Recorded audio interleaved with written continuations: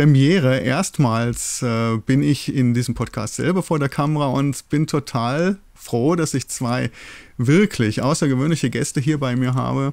Sie haben nämlich selber einen professionellen Podcast bei Audible, Sag mal du als Biologin. Und äh, wir haben hier den äh, Sebastian Lotzkat, er ist Herpetologe, aber ich muss natürlich sagen Zoologe, Spezialist für Amphibien und äh, Reptilien und ist schon viel auf der Welt herumgereist. Also was ich höre natürlich selber euren Podcast und äh, war, fand also auch in, in Südamerika äh, diese Exkursionen dorthin, was ihr dort berichtet habt, äh, sensationell. Du bist auch Science Slammer und arbeitest gleich in verschiedenen Na Naturkundemuseen. Äh, die Julia Schnetzer ist heute nicht da. Die ist schon wieder auf Exkursion sozusagen. Sie ist marine Mikrobiologin und äh, sie hat sich zwar im Studium mit Korallen, Bakterien und Viren befasst, äh, aber sie interessiert alles, was sich unter und über Wasser tummelt und auch Landlebewesen äh, sind total cool für sie. Und Jörg, wir haben uns äh, im Vorfeld schon unterhalten. Du bist quasi äh, auf zweiten Bildungsweg jetzt über die beiden zum Biologen geworden, wenn man so will äh, und hast eine steil aufsteigende Wissenskurve und du machst diesen Podcast äh, wirklich äh, genial, muss ich sagen. Also du, äh, du holst das Wissen aus den beiden heraus, du stellst die richtigen Fragen zum richtigen Zeitpunkt. Äh, warum möchte ich euch beide hier bei uns vorstellen? Das Super. ist, weil wir haben ein Wahlmodul im Zoologiestudium Citizen Science, Wissenschaftskommunikation und Genderforschung. Ähm, vielleicht äh, stellt ihr euch zwei ganz kurz einmal vor äh, und auch damit, wie ihr zu diesem Podcast äh, zusammengekommen seid. Vielleicht fangen wir mal mit, mit York an. Gern. Also ich heiße Jörg, äh, ich bin von Haus aus Journalist und bin vor, was denn, ist drei Jahre her, das dass wir muss gefragt drei wurden? Jahre her sein, ja. Bald, bald sind es vier Jahre. Ne? Ja, genau. Verdammt. Also ähm, äh, der Chef von Geo hat mich gefragt, ob ich Lust hätte, diesen äh, Podcast zu moderieren. Äh, so bin ich dazu gekommen. Und äh, ganz, ganz früher war ich Redakteur bei Geo, aber das ist wirklich ewig her nach der Henry-Nannen-Schule.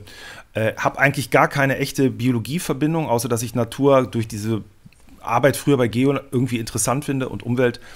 Und äh, so kam ich dazu. Also ehrlich so gesagt, so ein bisschen wie die Jungfrau zum Kinde, aber äh, die Jungfrau fand das Kinde dann nach kürzester Zeit super und wollte es auch nicht mehr runterlassen. Mhm. So. Mhm. Super, Sebastian. Ja, wir, ja wir, äh, tatsächlich ähm, ist bei mir die Geschichte äh, eigentlich so ähnlich. Also irgendwann, ähm, bei mir war das äh, 20.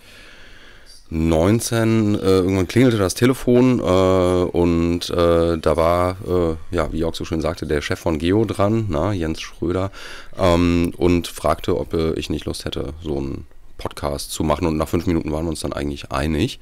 Und dann bat er mich auch gleich noch jemanden vorzuschlagen. Und äh, dann habe ich ihm meine liebe Slam- und Bio-Kollegin Julia vorgeschlagen. Und genau, so, so kamen die beiden Biologinnen dahin. Äh, und, mhm. und kurz danach äh, kam dann auch noch Jörg dazu.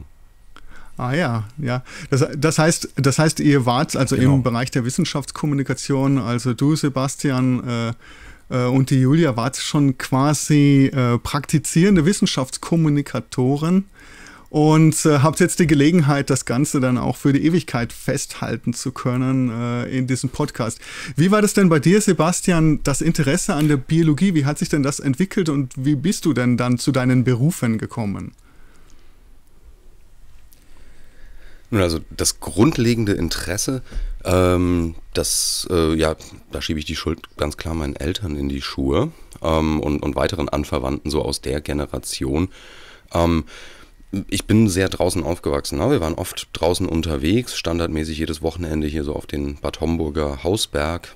Ähm, und meine Eltern waren halt auch irgendwie so Leute, die, die wussten dann äh, eine Buche von einer Fichte und die wiederum von einer Kiefer und sogar einer Tanne zu unterscheiden. Und das hat halt alles irgendwie abgefärbt auf mich. Ähm, und hätte den zehnjährigen Sebastian gefragt, was er werden will, der hätte gesagt Naturfotograf oder Naturforscher irgendwo im Urwald. Ja. Und dann der 14-jährige Sebastian, der hat das so ein bisschen vergessen oder der 15-jährige, der wollte eher Rockstar werden. Ähm, und tatsächlich habe ich mich dann gegen, äh, also nach dem Ende meines Zivis war ich lange in Südamerika unterwegs und da kamen so ein paar Schlüsselerlebnisse wieder. Ne? Stand ich irgendwann mal vor einer Schlange und habe gedacht, was ist denn das? ähm, ja, und dann war irgendwie das Biostudium das geringste Übel, weil irgendwas musste man ja studieren und wurde tatsächlich mit jedem, äh, mit jeder Vorlesung besser. Äh, und ich war mir dann noch vor Ende des ersten Semesters sicher, dass es das war. So, dass das das Richtige war. Ja. Ah, da muss ich jetzt, da muss ich jetzt nachhaken. Wo, wo hast du denn Biologie studiert und äh, wa warum warst du dir am Anfang nicht so sicher, ob du das durchziehst? Ähm, am, also so direkt nach dem, nach der Schule, nach dem Zivi, da, da war ich eigentlich war ich mir gar keiner Sache sicher. Da hatte ich keine wirklichen Pläne. Ähm, da hatte ich hauptsächlich den Plan B, äh, Beachboy in Brasilien zu werden. Ähm, und, aber da, da, musste man ja, das kennt man ja, ne? also irgend, irgendwas muss man dann ja machen nach der Schule. Man kann nicht ewig rumgammeln. Da hat man jetzt ein Zivi gemacht und war dann äh, noch monatelang in Südamerika und dann irgendwann muss man schon mal irgendwie so mit dem Ernst des Lebens beginnen. Und der Ernst des Lebens hieß dann halt Bio und äh, der Ernst des Lebens hat total Spaß gemacht. Und ich bin dann immer mehr halt in diese organismische Draußenbiologie reingerutscht, habe gegen Ende die Gelegenheit bekommen, eine Diplomarbeit ähm, an der Goethe-Uni, wo ich studiert habe, äh, zu machen, in Kooperation mit dem Senckenberg Forschungsinstitut. Ja, das äh, mhm. muss man immer so sagen. Senckenberg und äh, die Uni Frankfurt, die sind, die gehören zusammen. Ja, ähm, mhm. ja, und nach dieser Diplomarbeit, wo es um Viecher in Venezuela gegen Amphibien und Reptilien hatte ich die Gelegenheit, die Doktorarbeit dran zu hängen und weniger wegen des Doktors als vielmehr wegen der Gelegenheit, nochmal ein paar Jährchen tolle Amphibien und Reptilien in tollen tropischen Wäldern zu sehen, musste ich da ja sagen. Mhm. Ja, also das ist ja eine super Werbung für Biologiestudium, was du da jetzt gleich machst und natürlich insbesondere die Zoologie. Ähm, Jörg, bei dir ist Storytelling ganz groß geschrieben, habe ich irgendwo in deiner Bibliografie mhm. gelesen. Vielleicht erzählst du mal ein bisschen was über dich. Mhm. Gerne. Ähm, also ich bin ja von Haus aus Journalist und das Storytelling ist ja eigentlich so ein Bullshit-Begriff. Alle benutzen das, aber was damit gemeint ist, ist ja so ein bisschen wolkig. Nein! Also, und was ich darunter verstehe und ich glaube auch, was wir im, in dem Podcast praktizieren, ist, dass man halt die Dinge anekdotisch erzählt, auch mit Begriffen, die im Kopf lange hängen bleiben. Äh, und äh, vielleicht so ein Spezialaspekt, ich gestehe, ich habe es mir hier notiert, das Verbinden von Gefühlen und Fakten. Das klingt erstmal ein bisschen seltsam.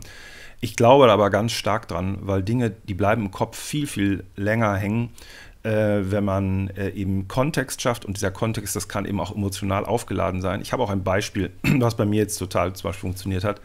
In einer der äh, Folgen, die äh, Teil unserer dritten Staffel sind, da reden wir über Blutsauger, äh, also blutsaugende in Insekten, unter anderem Insekten. Und da kommt an irgendeiner Stelle der Aspekt, dass es auf Island keine Mücken geben soll. Und das ist eigentlich ja eine Trivialität. und dann geht es im Podcast so weiter und dann sagt Sebastian irgendwas und dann erwidere ich darauf, naja, dann und dann Julia und ich werden darauf nicht reagieren können, weil wir werden weggehen. Wir gehen nach Island, ja, weil wir wollen, da, wir wollen ja weg von Mücken. Und Sebastian fängt dann, weil er einfach, muss man echt sagen, geiler Typ ist, fängt sofort an, ein Stückchen von einem Song von Björk zu singen, die eine isländische Musikerin ist. Man könnte jetzt sagen, ist einfach lustig, aber der Storyteller in mir würde sagen, also Fakten, keine Mücken auf Island werden verbunden mit starkem Gefühl und auch noch Musikschleife. Ich werde das bis zur Bahre nicht mehr vergessen, dieses, dieses Ding, ja. Und das liegt halt daran, weil letztlich eine bestimmte Erzähltechnik angewandt wird umso geiler, ehrlich gesagt, wenn Leute wie Sebastian das auch noch spontan raushauen. Und das funktioniert super. Und ähm, ich glaube an diesen Ansatz äh, total und das ist quasi eine Dimension vom Storytelling. Und das Zweite, woran ich auch sehr, sehr glaube, ist, dass wenn Leute sich Podcasts angucken oder jetzt auch vielleicht deine Sendung angucken, Thorsten, ähm, ich glaube, man ist an den Fakten interessiert, man ist aber immer, immer auch an dem Ping-Pong zwischen den Menschen interessiert. Also das ist so ein, so ein journalistischer Blödelsatz eigentlich, Menschen interessieren sich für Menschen. Aber es ist so, dass eben die Leute miteinander irgendeine Art von Verhältnis haben müssen, ja. Und der, was ich der Sebastian, der erzählt mir in jedem dritten Podcast, Jörg, du hast keine Haare mehr, du bist ein alter Sack. Ich finde das auch immer wieder lustig, weil es ja auch stimmt, ja. Oder wir flirten mit Julia und die sagt dann, Jungs, haltet euch mal zurück. Und dieses Ding miteinander, dass man miteinander ein, Ding am Laufen hat, ja, das ist quasi für mich nicht Nebengeräusch, sondern es ist Teil von dem Ganzen. Und wenn es dann auch noch man wirklich Glück hat und Leute wie jetzt zum Beispiel Sebastian am Start sind, mit denen das eben auch wirklich Bock macht und die so leichtfüßig sind, äh, die also wie ein Boxer eben nicht wum, wum, wum, sondern das leicht so auspendeln können, dann funktioniert das meiner Ansicht nach super, weil ein Teil äh, auch dann auch unplanbar wird, weil eben gar nicht klar wird, in welche Richtung der Sebastian gleich eine Rakete startet. Und für Julia gilt das, by the way, auch. Die kann auch unglaublich schnell reagieren. Äh, und das macht es halt toll, weil es dann halt nicht äh, auschoreografiert ist. Ja, ein Teil muss man sich vorüberlegen natürlich. Aber der, dieses spontane Element mit Leuten, die man gut kennt, das glaube ich ist. Ja, ist ich, ich, ich, ich, so, denke, das, das ist auch ein ganz wichtiger Punkt bei der Wissenschaftskommunikation. Äh, dass man die Hörerinnen mit einbezieht, quasi in die Welt, ne? sie quasi mit an die Hand nimmt, in die Welt der Wissenschaft entführt und dass man auch sieht, dass das Ganze irgendwo äh, menschlich ist, dass äh, ja. auch die Wissenschaftlerinnen äh, menschlich sind, dass auch die letztlich Emotionen haben. Ja, diese, diese Blut, blutsaugenden äh, Insekten wecken natürlich Emotionen, ne? schlaflose Nächte, aber auch natürlich Drohszenarien mhm. wie invasive Arten, ne? Moskitomücke oder oder auch äh, Vektor für irgendwelche äh, Erkrankungen, die wir alle nicht hier äh, bei uns in unseren Breiten haben wollen. Und ähm, ja, dann äh, ja, genau, genau Tigermücke. Tigermücke ne? Dann, Tigermücke. dann überlegt man natürlich, ja, was ist denn das? Zecke. Ja, genau. Oh. Ähm, und ich, ich sage sehr kleines Insekt, was es ohnehin nicht leicht hat, äh, aber natürlich deswegen umso gieriger ist auf uns. Naja, gut. Äh, ah, Jörg, vielen, mhm. ja, natürlich, gerne. Thorsten, ich würde gerne noch eine Sache ergänzen. Natürlich. Ja, ich will noch eine Sache ergänzen, weil das auch ist, wo der Sebastian äh, stark ist. ich, nach der Aufnahme kriege ich vom Sebastian wie immer 50 Euro, weil ich ihm so viele Showtreppen jetzt baue, aber es stimmt wirklich ich glaube, dass in der Kommunikation, in der Kommunikation äh, und bei dem Postcard als solchen auch ein weiterer Punkt, glaube ich, wichtig ist. Und das ist also jetzt äh, blöd, blöd Fachwort, responsiv, aber letztlich eben beantwortend und reagierend aufs Publikum. Äh, und das ist natürlich erstmal verrückt, wenn, wenn eine Sache im Studio stattfindet, ist da ja kein Publikum. Aber Julia und Sebastian gucken sich halt unheimlich genau an, was die äh, Hörerinnen und Hörer wollen. Und ich glaube, die Ansprache innerhalb des Podcasts, heute hat uns, was ich, Roger geschrieben, oder wir reagieren jetzt auf eine Frage von Elisabeth aus Wien. Das ist, da geht quasi der Wissenschaftler von seinem Podest runter und macht sich, wenn man so will, gemein, ja, aber auf eine gute Art, der geht zwischen die Leute und kommt in Dialog. Und das nimmt halt einfach die Menschen mal ernst. Und das ist äh, quasi, ich glaube, wenn es einen Hemmschuh gäbe für den Normalo bezüglich von äh, Wissenschaftlerinnen und Wissenschaftlern wie Sebastian und Julia, dann wäre das ja unter Umständen, dass man denkt, oh, die sind vielleicht viel schlauer als ich oder vielleicht wollen die auch gar nicht mit mir reden. Aber wenn dann der Wissenschaftler quasi erstmal auch so normal aussieht, normal redet und dann auch noch direkt sagt, ah ja, das ist die Frage vom Roger oder von Elisabeth, das macht einen total äh, validen Punkt und nimmt halt äh, das nicht akademische Publikum, ob die Akademiker sind eigentlich Latte, aber die normalen Leute ernst. Und das halte ich für total wichtig. Da merke ich auch, da ist doch der, der Kleinstadtjunge in mir, der immer das Gefühl hat, vielleicht zu blöd zu sein, der fühlt sich dann total hochgehoben von Leuten wie Sebastian und Julian. Das ist, glaube ich, für Kommunikation mhm. super duper wichtig.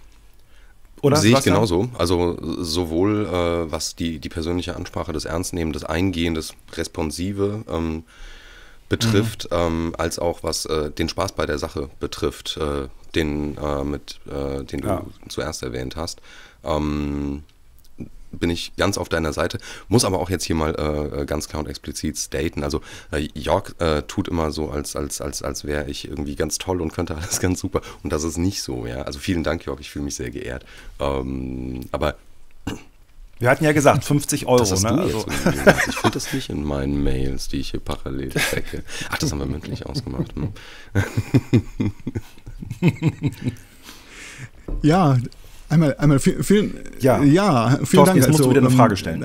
Einige Fragen von denen, die ich mir vorbereitet habe, hast du jetzt schon ein klein wenig äh, äh, vorweggenommen. Also ich sehe, ihr seid äh, ho hoch motiviert, gute Wissenschaftskommunikation zu betreiben und ihr bindet euer Publikum mit ein. Das scheint euch also sehr wichtig zu sein und das denke ich, äh, ähm, das bahnt auch irgendwo den Kontakt zur Community und äh, insbesondere die Biologie, ich sage es immer, äh, ist ja eine durchaus sehr komplexe und schwierige Wissenschaft, weil sie ja quasi äh, alle Naturwissenschaften irgendwo vereint und äh, auch komplexe Dinge betrachtet. Und äh, deswegen äh, komme ich dann vielleicht äh, zu, zu, gleich zu einer Frage. Ähm, Sebastian, vielleicht frage ich dich das direkt. Äh, was glaubst du, könnte der größte Fehler von Wissenschaftlerinnen bei der Kommunikation ihrer Arbeit sein, äh, den, sie eben, den sie in der Wissenschaftskommunikation machen können? Also der, der allergrößte Fehler wäre äh, gar nicht zu kommunizieren, was man forscht, was man herausfindet und vor allem, wie man es herausfindet. Aber da äh, du ja in der Wissenschaftskommunikation jetzt schon mit hinzugefügt hast in die Frage, ähm, reden wir nicht von dem Fehler. Nee, also der größte Fehler, meiner Ansicht nach, den man machen kann, wenn man seine Wissenschaft ähm, kommuniziert, ist, dass man das versucht in seiner Fachsprache zu tun und äh, so zu tun, als würde man es eben FachkollegInnen erklären. Ne? Dass man sich, dass man das nicht schafft oder vielleicht auch gar nicht erst versucht, ähm, seine Sprache, ähm, die Beispiele und die Sachverhalte so runterzubrechen, ähm, dass auch Lieschen Müller sie verstehen kann. Jetzt nicht, bitte nicht falsch verstehen, nichts gegen Lieschen Müller, ähm, aber es ist uns vollkommen klar, Thorsten, dass du und ich nach einem Biostudium und einer Promotion über manche Sachverhalte halt einfach anders schnacken können ähm, in unserer eigenen Sprache, in unserem Jargon, äh, als wir das, als ich das mit meiner Mutter könnte oder, oder mit meinen Kindern oder mit guten alten Freunden.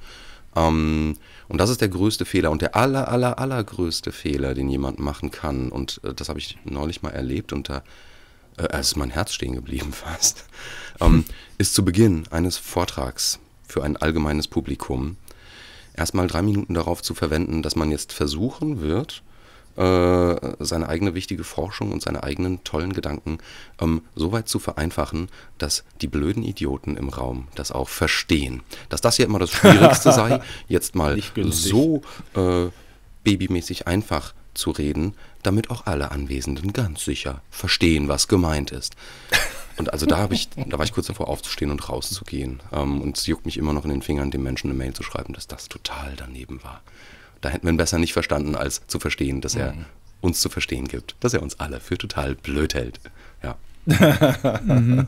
Ja, das, das zeigt jetzt auch, was dich mhm. motiviert, gute Wissenschaftskommunikation zu, be, zu betreiben. Also quasi auch auf Augenhöhe äh, über die Dinge, die dich ja total faszinieren, äh, auch äh, berichten zu können letztendlich. Ähm, vielleicht äh, ganz kurz dazu. Ähm, Sebastian, was interessiert dich denn besonders in der Biologie? Du bist ja jetzt auch in einem in einem Job, äh, wo du, äh, also in, in Naturkundemuseen oder ich habe gelesen, gleich in mehreren Naturkundemuseen, ähm, ist, ist es ja massiver Teil deines Berufs, Wissenschaftskommunikation zu betreiben. Das heißt, du bist Profi da drin. Was würdest du jetzt äh, einer angehenden Wissenschaftler oder Wissenschaftlerin an die Hand geben wollen, was sie als Skill besitzen sollte, jederzeit, ähm, wenn sie über, ihre, ähm, über ihr Fach berichtet sozusagen.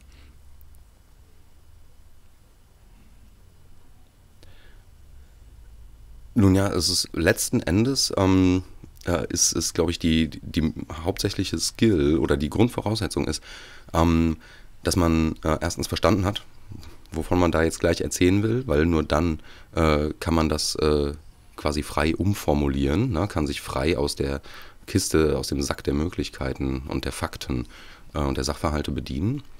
Und zweitens, ähm, und da, da gibt es ja so Übungen, ne? also äh, wahrscheinlich haben wir alle irgendwann mal so diverse solche Workshops mitgemacht, ne? also das Kitchen Shout Model ähm, und so, so, so Vereinfachungsübungen. Ne? Also ich sage immer, ähm, du musst die Sachen so erklären, ähm, wie du sie deiner Oma, deiner Tante, deinem kleinen Neffen ähm, oder deinem alten Schulfreund, der ganz was anderes äh, macht, erklären würdest. Ja, also mhm. eigentlich ganz normal, frei von der Leber her reden. Ähm, und was sehr dabei hilft, ist, wenn man das mag, worüber man redet. Ja, wenn man da eine gewisse Leidenschaft, eine gewisse Begeisterung hat. Mhm. Ähm, denn das ist tatsächlich auch was, ich finde, das kann man sehen ob jemand, ganz egal wie jemand drauf ist, ob jemand jetzt schüchtern ist und eher vorsichtig oder ob jemand jetzt so ein extrovertierte Rampensau ist wie ähm, ich, äh, das kann man den Leuten ansehen, ob sie für ihr Thema brennen, ob sie tief drinnen ihr Thema toll finden oder nicht. Ja, mhm. ähm, das, das wären so meine Ratschläge. Und immer mal wieder aus sich rausgehen, vielleicht auch mal ein Video von einem Auftritt schauen oder sich selbst aufnehmen ähm, und überlegen, hätte der Mensch, der jetzt gerade im Bus neben mir sitzt, damit was anfangen können? Mhm. Das ist, das ist ein ganz wichtiger mhm. Punkt. Das ist vielleicht eine Frage an Gute euch beide. Hinweise, mhm. äh, inwiefern spielt ein Perspektivenwechsel, also sich selber in die Bedeutungswelt der, des Publikums zu versetzen, was bedeutet das für das Publikum, dieses, was ich kommunizieren möchte? Wie wichtig haltet ihr das? Ne? Weil man will ja was damit anfangen können. Was, was sagt ihr dazu? Und äh, wie, wie? Ja, gerne, ja. Wenn ich anfangen darf, die, also journalistisch gesprochen, ja, ähm, ich glaube, es ist gut, also man äh, im Journalismus sagt man, man muss, man muss den, die Leserin oder den Leser kennen. Das ist jetzt ein bisschen eine Binsenweisheit. Das kann aber zum Beispiel im Kontext von diesem, äh, von dem Podcast bedeuten, dass man sich überlegt, in welcher Situation hört derjenige das eigentlich oder diejenige. Wir haben zum Beispiel Feedback bekommen von Leuten, die, die hören das abends im Bett. Da war eine, ist eine junge Mutter, die hört das beim Stillen ihres Babys. Da ist ein Typ, der macht eine Weltumsegelung, glaube ich, ne? Der hört das beim, wenn er am Ruder steht, ne? Oder, oder am, am Steuerrad. Und ich glaube, wenn man weiß, dass das tendenziell also Alltagssituationen sind oder die Leute abends im Bett liegen und vielleicht auch schon platt sind und das gucken, hören statt Netflix zum Beispiel, dann denke ich mir zum Beispiel, okay, das muss erstmal ein bisschen was Niedrigschwelliges sein und, das ist jetzt ein Punkt, ich gestehe, ich habe es mir aufgeschrieben, das ist vorne, wenn man das ganze Produkt verkauft, einen Teaser gibt, der so niedrigschwellig ist, dass man auch Bock hat, quasi das Produkt zu kaufen. Weil zum Beispiel, jetzt, da jetzt Sebastian hier sitzt, ja, Sebastian hat ein Buch geschrieben, das heißt Keine Bange vor der Schlange. Das könnte aber auch heißen, äh, das ABC der Reptilien, was offiziell sehr, sehr schlechter Titel war, weil da denkt man, man muss total viel wissen, bevor man sich das reinzieht. Ja. Und das gleiche gilt ja für unseren Podcast. Der könnte ja auch heißen, das Panoptikum der Phänomene der Biologie und Außenwelt. Nur das hört dann halt keiner. Das heißt, den, also Energie darauf zu verwenden, wie heißt das Ding eigentlich? Und den Teasertext und das ist im Journalismus richtig eine Unterwissenschaft. Also wie schreibt man so einen guten Teaser? Und die Leute von Audible, die sind natürlich die NASA, was Kommunikation betrifft, die sind sehr, sehr gut. Die, die, die, der Hackmack, den wir machen, damit der Teaser gut geschrieben wird. Also, und ich bin jetzt in meiner Selbstwahrnehmung hier der natürlich geilste Schreiber aller Zeiten. Das geht aber trotzdem noch über Sebastians Tisch und über Julias Tisch und beide ändern das nochmal und die Leute bei Audible ändern es nochmal und da guckt nochmal jemand drauf. Und das ist auch genau richtig, weil das ist quasi die Restauranttür und wenn die hässlich ist oder klemmt, dann ist es halt Mist. Und diesen, also quasi die Tür muss sich nicht nur öffnen, sondern muss sich den Menschen vorstellen, der durch diese Tür gehen will. Und ich denke dann oft an jemanden, der abends, ähnlich wie ich, Kinder im Bett, halb neun, ist platt, liegt im Bett und will jetzt noch was haben, was aber nicht nur so Flachpfeifenzeug ist, also irgendwie einen Anspruch hat, aber es braucht halt diese Tür vorne, die muss halt ganz leichtgängig sein. Und da rein Energie zu verwenden, das halte ich für total wichtig. Mhm. So. Ja, ja. Ist das verständlich? Unbedingt. Klang Sebastian, magst du noch was ergänzen dazu? Ähm, also, wir, wir sind im äh, Wesentlichen jetzt schon. Ja, äh, gerade. Also, wir sind im Wesentlichen jetzt schon ein bisschen auch in die Konzeption äh, gekommen, wie solche ähm, Podcast-Folgen vorbereitet werden und welche Schritte dabei besonders wichtig sind. Ähm, ähm, das, da würde mich gerne die Sichtweise eben vom Sebastian, äh, dem man ja, ich habe so ein bisschen den Eindruck, äh, ja, der ja auch vor Wissen sprudelt und auch irgendwo manchmal vielleicht ein bisschen gezähmt werden muss. Wie geht es da äh, bei dieser Konzeption dieser Folgen? Ähm, wie oft kommt ihr da vielleicht auch untereinander ins Streit? Streiten, die Julia, der Sebastian und, und, der Jörg, dass man irgendwie sagt, na, das ist jetzt doch zu einfach, äh, einfacher als es vielleicht der, der Bereich erlaubt oder äh, wie geht ihr da vor? Wie, äh, wie, wie kann man sich das vorstellen? Sebastian, vielleicht aus deiner Sicht. Also zuerst, streiten tun wir uns natürlich nie. Ähm, nö, tatsächlich haben wir uns noch nie so richtig gestritten. Ne? Also ähm, Meinungsverschiedenheiten kann man ja auch, äh, sag ich mal, konstruktiv lösen. Ähm, also zuallererst steht die Themenfindung. Na, und äh, da schmeißen wir quasi in den Hut, äh, auf was für Themen wir Bock hätten, also Themen, die uns interessieren, die wir spannend finden. Und äh, in diesem Hut äh, befinden sich gleichzeitig äh, halt eben die ganzen Themen, die unsere HörerInnen sich gewünscht haben. Also es ist tatsächlich so, und ich muss jetzt das auch den Ball nochmal zurückspielen, es ist äh, nicht so, dass nur Julia und ich aufmerksam alles lesen, was da reinkommt, sei es als Rezension über äh, audible.de oder als E-Mail ja. mhm. ähm, an Biologie-Podcast ähm, at audible.de, sondern äh, auch Jörg liest das alles. Habe hab ich zumindest mhm. den Eindruck, also ich stehe nicht die ganze Zeit neben Natürlich. ihm und ich weiß nicht, was er 24 ja, ja, auf jeden Fall. alles treibt, aber ja. ich habe immer den Eindruck, äh, also oft ist es Jörg, der mich auf irgendeinen speziellen äh, Satz oder Wunsch oder so in einer in einem HörerInnen-Feedback hinweist.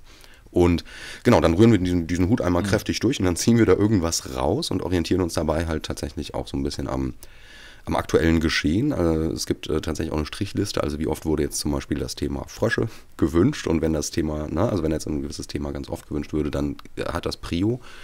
Und äh, da kommt jetzt quasi ergänzend zu dem, ähm, was York eben sagte, ne, du musst deine, äh, deine, deine Kundschaft in Anführungsstrichen kennen. Ähm, so ein, so ein alter goldener Satz aus der äh, Vermittlung, ähm, der mir nie aus dem Kopf gehen wird, äh, weil das war das Credo, es war eines der, der drei Motti, kann man so sagen, ähm, von dem ersten äh, Menschen, für den ich freiberuflich Führung gemacht habe, dem Leiter und Gründer der Grünen Schule im Palmengarten Frankfurt, wo ich auch aktiv bin. Ähm, der meinte immer, Sebastian, du musst die Leute da abholen, wo sie stehen. Ja, wenn wir jetzt hier Tropenführung machen und es ist Winter, dann bleibst du erstmal noch draußen stehen und fragst, warum die Blätter äh, nicht an den Bäumen hängen und was hier eigentlich gerade los ist. Und dann gehst du in die Tropen und dann wird den Leuten klar, dass das irgendwie so, ne, wie das funktioniert. Ähm, und das finde ich persönlich ganz, ganz wichtig, ne, dieses, mhm. welche Relevanz hat das? Ähm, für die Menschen, nicht nur wie, äh, was sind das überhaupt für Menschen und, und, und wie und wo und wann äh, konsumieren sie ähm, unseren Podcast oder, oder auch andere Formate der Wissenschaftskommunikation, sondern wie kann man äh, quasi, das ist, da geht es ja auch dann um Motivation, dann weiter zuzuhören, überhaupt an ein Thema ranzugehen, sich was erzählen zu lassen. Ähm, was hat das eigentlich mit mir zu tun? Ne? Natürlich kann ich jetzt hier was erzählen über äh, die Ultrastruktur der Dorsalschuppen einer bestimmten Viper oder so und das ist für mich spannend und für andere vielleicht auch.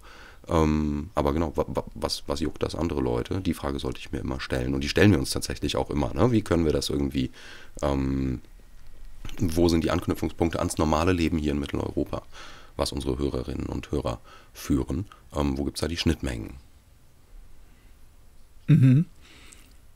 Also ja. das heißt, ihr versetzt euch tatsächlich in die Bedeutungswelt äh, eurer Hörerinnen und Hörer und äh, versucht es dann eben so aufzubereiten, dass es Bedeutung hat. Also wir wissen jetzt äh, beispielsweise auch aus der, aus der Forschung, dass man ja auch besonders effizient und effektiv auch lernt, wenn es Bedeutung für einen hat. Ne? Das war möglicherweise auch in unserer Evolution so. Wir haben in der Natur unter mit allen Sinneseindrücken wirklich am besten äh, gelernt und äh, hatten dort eine wirklich eine Vorstellung von dem, äh, was eine Entscheidung für uns bedeuten kann. Und ihr müsst jetzt natürlich auch, und das ist auch mein Eindruck, wenn ich euren Podcast gehört habe, auch irgendwie so eine Welt drumherum schaffen. Ne? Also man fühlt sich, man taucht auch äh, wirklich gut ein ähm, wenn ihr erzählt davon, wie man letztendlich zu diesem und jenen Wissen gekommen ist. Und das ist dann wieder der Punkt äh, äh, Storytelling. Ähm, wie, wie ist denn das, äh, Jörg? Musst du, äh, musst du da viel editieren, äh, wenn es jetzt darum geht, das in ein Storytelling zu verpacken oder machen die beiden das ganz von allein? Wie, wie ist denn das so? Äh, bei dieser, wenn ihr so einen Podcast vorbereitet? Ähm, das war Mhm. Äh, das ist äh, eine der äh, Schockerfahrungen gewesen mit Julia und Sebastian, weil normalerweise als Journalist stehe ich ja quasi vor Fachleuten und habe mit denen so einen Ringkampf, dass die halt quasi ihr, ihr Jägerlatein nicht ablegen wollen und auch die Komplexität nicht runterregeln wollen. Jetzt sind die beiden, und das war für mich wirklich, also richtig überraschend, also überraschend ist eigentlich das Wort ist zu klein, überraschend Turbo. Ähm, die sind in dem Feld schon sehr, sehr, sehr, sehr gut.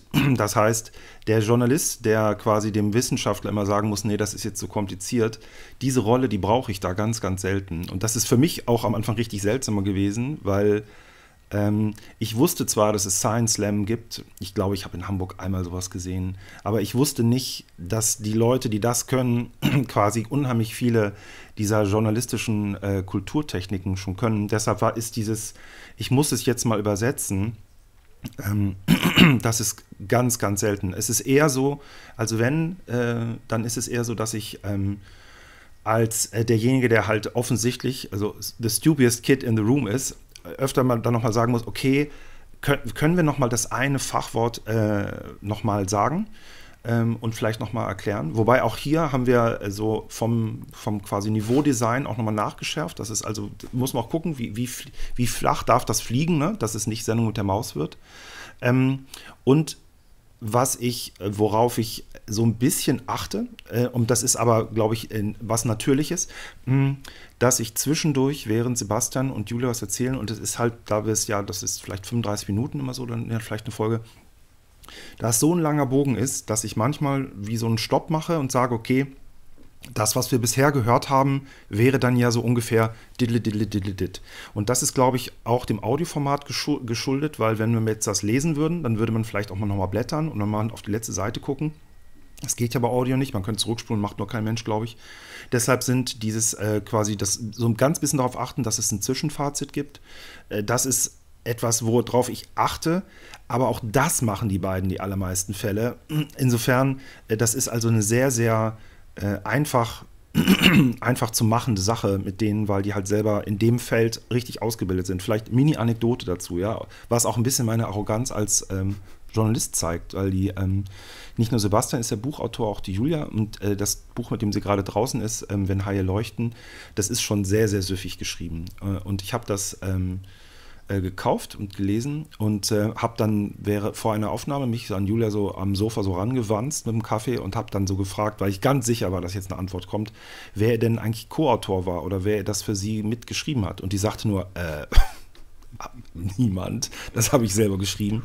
Und ich dachte, ach du liebes Brötchen. Weil das ist jetzt, da würden schon mehrere Journalisten sich die Finger dran abbrechen weil das Ding ist sehr, sehr unter, unterhaltsam geschrieben. Das hat Spannungsbögen und unterschiedliche Einstiegsformate mit szenisch oder faktisch oder oder. Und insofern, äh, das, das ist also quasi, ich glaube auch wirklich atypisch, dass man auf Wissenschaftler trifft, die das schon so sehr können. So, macht meine Rolle ein bisschen klein, deshalb äh, versuche ich mich auch jetzt in dieser Sendung immer so ein bisschen nah an die Kamera zu bewegen. Aber das ist also, deshalb macht mhm. sie Job natürlich. Da muss ich jetzt eine. Rückfrage ne? stellen. Ähm, du hast gerade gesagt, so, man spult ja nicht zurück beim Audio. Äh, da, da, muss ich widersprechen. Also, nachdem. Achso, ja, nachdem, nachdem ich ja, nachdem ich ja, ja euren okay. Podcast auch selber höre, also zum Beispiel die Folge, wo es darum ging, äh, die Welt mhm. äh, ähm, im UV-Licht, wo man sich halt auch so, ein, so, ein Sperr, so eine Sperrfilterbrille aufsetzt, äh, da, da habt ihr kurz da, darüber berichtet. Ne? Ja. Eine super mhm. Folge. Super Man hat sich das super mhm. gut vorstellen können, aber ich hätte das, äh, also ich, ich, ich kenne diese Technik natürlich, aber mhm. ich habe mir sofort gedacht, äh, damit ich das gleich selber irgendwie ausprobieren will, das war, war für mich quasi so eine Art Call to Action. Ne? und jetzt will ich das sehen. Und da würde ich mir dann zum Beispiel versprechen, dass es irgendwie so ein begleitendes Medium gibt. Ne? Bei YouTube kann man das ja machen, da kann man in die Videobeschreibung kann man zusätzliche Links packen. Das werde auch ich hier nachher mit, mit äh, äh, euren Dingen tun, also äh, die Bücher, die ihr geschrieben habt, euer Podcast natürlich. Äh, aber eben, dass man so weiß, ja, mhm. wo kriege ich denn ein solches Material? Und dann muss ich immer, muss ich zurückspulen normalerweise als Hörer, um mir das dann zu notieren beispielsweise. Das ist so ein bisschen ein Nachteil bei einem reinen ähm, mhm. äh, Audio-Podcast. Das mhm. ähm, ist vielleicht gerade ähm, als Anregung. Ähm, mhm. eine, eine Sache interessiert mich jetzt noch total. Ihr hört ja sicherlich vielleicht auch selber Podcasts. Und ähm, was sind denn eure Lieblingspodcasts, also mhm. andere als eure natürlich, und welche Eigenschaft schätzt ihr an denen?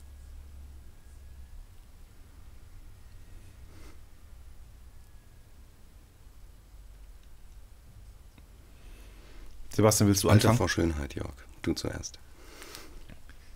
Alles klar. Du siehst, Thorsten, wie das hier läuft.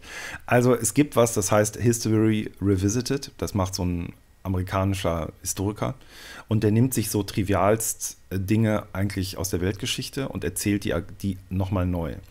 Äh, und der ist halt so ein, so ein Hyper-Rechercheur. Und das finde ich total super. Das höre ich unheimlich gerne. Ähm, das so das ist halt fast hörspielhaft, auch so mit Audioeinblendungen. Das ist jetzt was, was mich ähm, so während der Corona-Zeit abends so gut ins Bett gebracht hat. Das mochte ich total. Ähm, sag mal, du als Psychologin, ist jetzt was, was ich auch selber interessant finde, weil jetzt, also ernste Antwort, in meinem Umfeld sind während der Corona-Zeit so viele Leute psychisch baden gegangen und hatten echt Probleme, dass ich fand, dieses Thema Psychologie und seelische Gesundheit ist, das ist so viel wichtiger als sonst. Ich weiß, ich klinge gerade total pastoral, aber ich meine es eben auch so.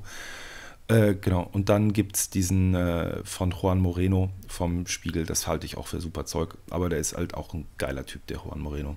Das sind die Sachen, die ich so höre. Und ich höre aber ansonsten auch, jetzt ist es kein nicht Podcast, aber ich höre unglaublich viel Hörbücher, weil ich dieses Sound im Ohr, ne, das ist für mich, das liebe ich. Den Herrn der Ringe habe ich, mhm. glaube ich, fünfmal gehört. ich habe den Herrn der Ringe nur zweimal gelesen. Ähm, dafür einmal in Portugiesisch. Ähm, und äh, ich komme tatsächlich äh, komme ich, komm ich aus der Hörspielecke. Ähm, ich bin ein großer Drei-Fragezeichen-Fan. Und wann immer ich kann, höre ich äh, eine mhm. gerne möglichst klassische Drei-Fragezeichen-Folge äh, zum Einschlafen tatsächlich. Ähm, ich bin nicht auf, tatsächlich nicht auf ähm, irgendwelche Podcasts abonniert, in dem Sinne, dass ich die ähm, regelmäßig äh, konsumiere, außer natürlich unseren eigenen. Äh, den finde ich super.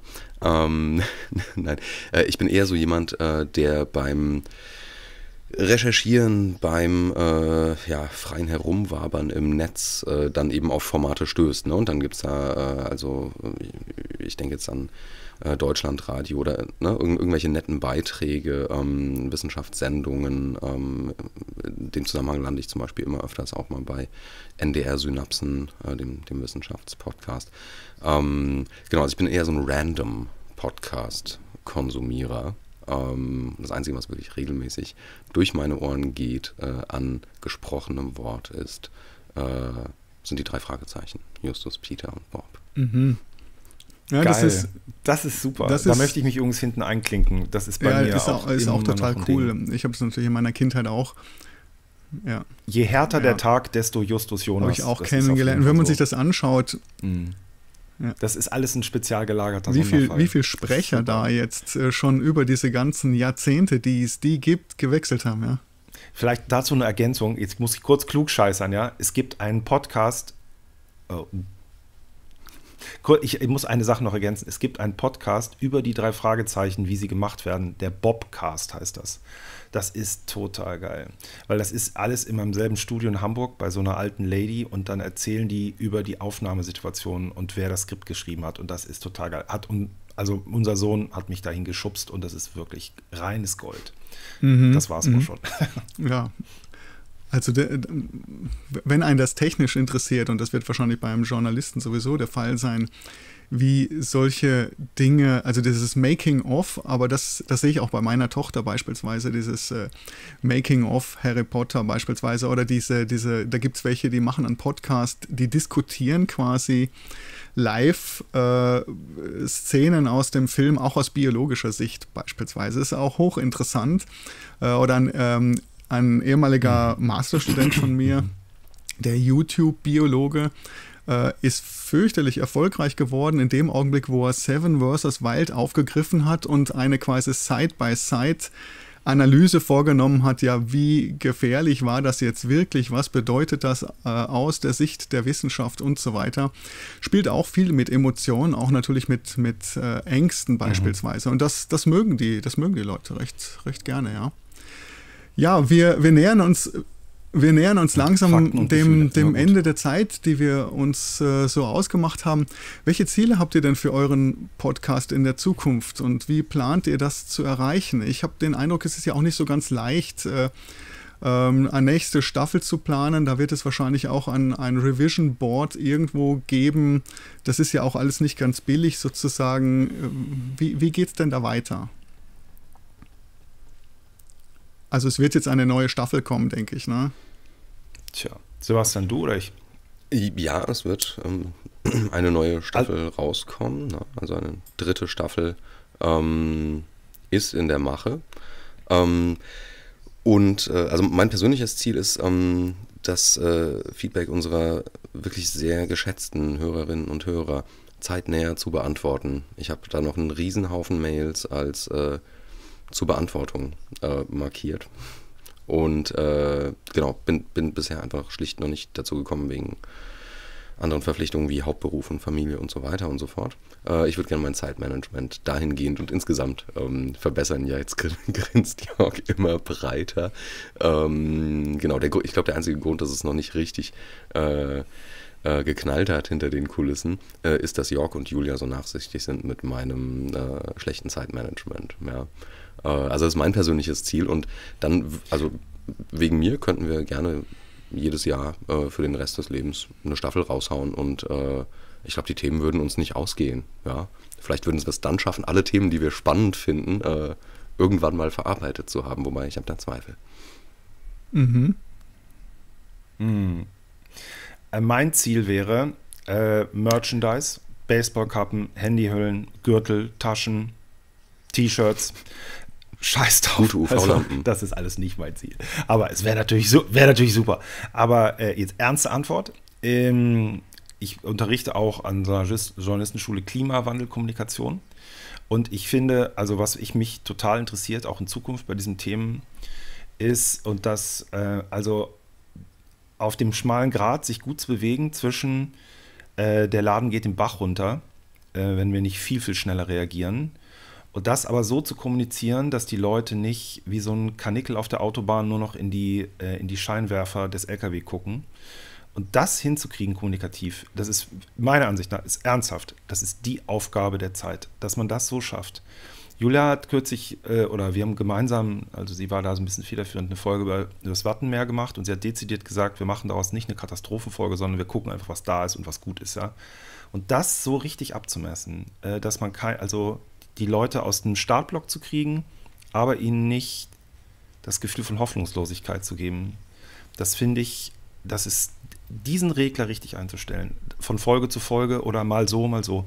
Das finde ich das Ding und das super hinzukriegen, weil wenn, ich sehe es ja an mir selber, durch Sebastian und Julia, bin ich für mich echt aus dem Quark gekommen. Viel weniger Fleisch, ganz anderes Verhalten im Garten, viel weniger wegschmeißen, auch von Lebensmitteln. Also jetzt nicht, ich bin wirklich hier nicht Jesus, ja, bei uns gehen auch Sachen einfach weg, aber es ist halt, hat's, bei mir hat es was gebracht. Und wenn wir das schaffen, eine relevantere Gruppe, größere Gruppe von Leuten äh, so ein Bewusstsein zu ändern, die halt dann nicht eben sich nicht mehr wie offene Hose verhalten, das fände ich mega und das wäre für mich ein Ziel. Ja, wieder schön ja, pastoral. Ja, su ja, super. Aber ich meine es so ähm, ernsthaft. Es gibt, es, es gibt ja auch noch den Podcast, ähm, sag mal du als Physiker. Ähm, ich nehme das bei mir in den Vorlesungen. Es ist immer so, früher hat es also, also eine Art Schulenkonflikt gegeben. Ne? Die, äh, die Physiker sehen sich so als äh, die harten Naturwissenschaften und die Biologen äh, und Biologinnen sind so, das sind so die, die Soft-Naturwissenschaften. Ne? Und da hat es ganz viele Dinge gegeben, wo Physiker gesagt haben, äh, also das, was ihr da berichtet, unmöglich, das kann gar nicht sein. Ne? Bis man es messen konnte sozusagen. Und irgendwie habe ich mir immer wieder gedacht, das schreit ja eigentlich danach, mal so, so eine, so eine Cross-Podcast-Folge zu machen zwischen den Physikern und den BiologInnen äh, und äh, einfach einmal so äh, Biologie gegen Physik. Habt ihr sowas in Planung? Oder ist das nicht denkbar bei so was Komplexem wie Audible?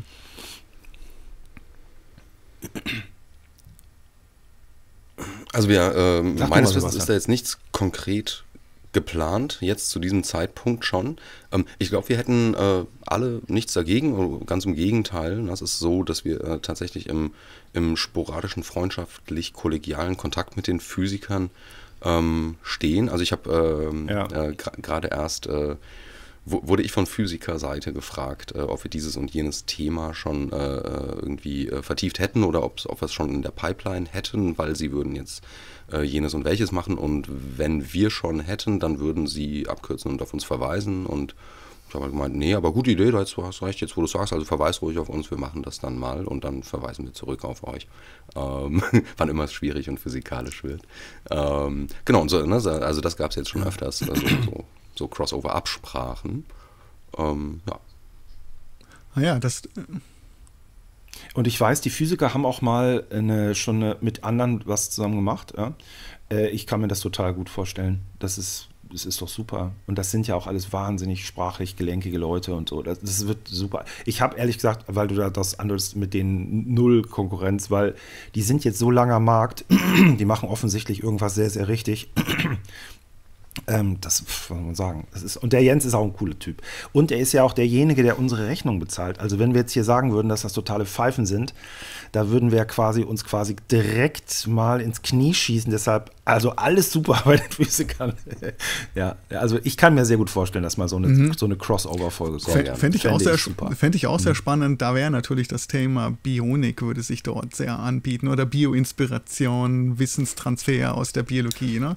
Mhm. Äh, aber da habe ich euch eh schon nochmal Gibt es nicht so einen äh, Professor aus Österreich, der sich das schon mehrfach gewünscht hat? Bionik? Ja, natürlich. natürlich. Also ich sehe ich sehe, da entsteht also in, in, unter den ganzen Podcastern quasi so, so ein Wissenschaftsuniversum, der in ein interdisziplinäres. Und ich finde das total super, wenn da äh, die Kommunikation auch der Fachrichtungen untereinander stattfindet. Äh, also ganz toll. Äh, ich werde auf jeden Fall den. Ja, super. Ja, Thorsten, wir müssen uns in zehn Minuten genau. unseren Podcast Ich werde, ich werde ähm, äh, den, den Link zu eurem Podcast und auch äh, zu, zu euren Büchern gerne in die Videobeschreibung hier packen. Und äh, ich lade natürlich auch alle äh, Zuseherinnen ein, äh, auch mal mhm. Äh, euren, euren Podcast zu besuchen oder auf jeden Fall auch einzutauchen dort in, in die Wissenschaft, wie, wie ihr sie dort in dem Universum eurer Podcasts betreibt. Ich bin total froh, dass ihr hier wart. Ich danke, dass ihr meine Gäste wart. Schöne Grüße an die Julia und ähm, wenn ihr noch irgendeinen Abschlusssatz zu sagen habt, bitte gerne und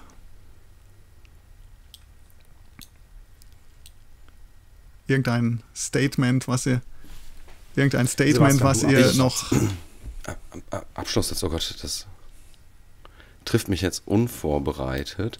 Ähm, äh, ich, ich, ich nehme einfach ähm, mein, mein, mein Lieblingszitat, äh, ich glaube, aller Zeiten ähm, von Alexander von Humboldt. Alles hängt mit allem zusammen. Deswegen haben auch Physik und Chemie ihre Daseinsberechtigung. Nein, das war jetzt ein Scherz. also ersteres nicht, zweit, zweiteres schon. Ähm, liebe Leute, die Erde ist eine Bühne für das Leben. Das Leben macht das hier alles einzigartig und überhaupt gut. Ähm, lasst uns schauen, dass wir es nicht vor die Wand fahren. Ja? hehre Botschaft in die Welt.